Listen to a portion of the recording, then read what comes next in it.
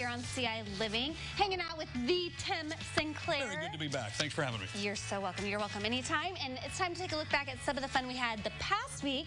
We had such a beautiful afternoon in our town, Clinton, visiting with the people. I made a cool rope. You made a rope? I made a rope. I Sarah and I convinced an EMT worker to get a flamingo tattoo.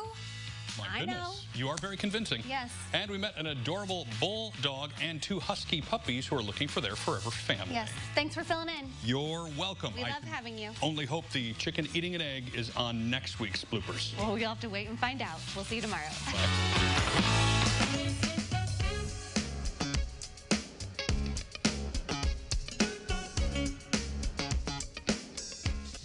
You're doing great.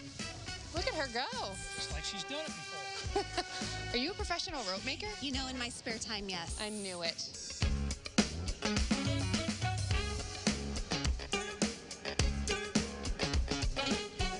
Okay, but now it's Jeff's turn, and he said he said we get to pick. Yeah. So Jeff's uh, letting Jeff, us pick live on air. This is a very important moment it, for us. It was between the crown and the flamingo, and I think we're going flamingo.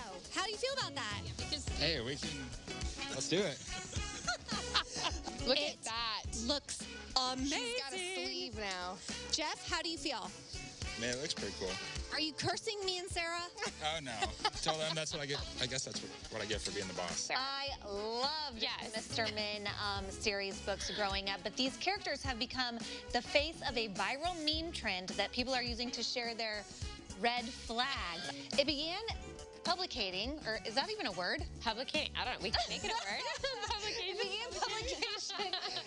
We're here. Little Miss talks throughout every movie. Okay, Grace Worley. I think her and I relate on this one, right? Would you say this is your Little Miss as well? Yeah, I talk a lot during the movie. Like I ask questions and stuff. Like, is this this character or that? I'm the same way. I have to know, especially if it's scary. Let's ask our meteorologists, Jack Gerfin and Jacob Dickey, and one other face here. Okay, someone's got some big news over here. We got we got two people got some big news. Yes. Oh, Yeah. okay. Well, let's start with your big news. Well, the big news I found is that uh, you know Jacob's gonna have a son. Stop it. Nope.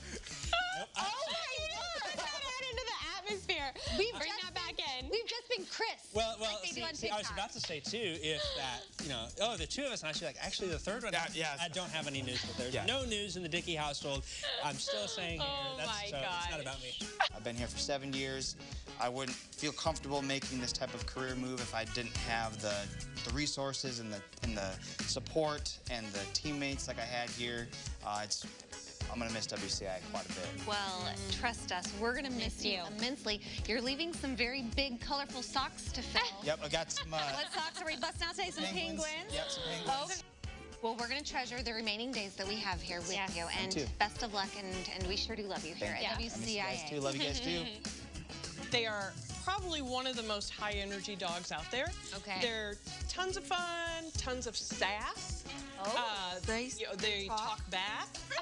They like to scream the song of their people when you're giving them a bath. They I was scream like you you're killing them. I don't think you won't. We were like, ah! it's bad. When they made the Harley skillet, they had in mind people coming together and enjoying a delicious breakfast. Mm.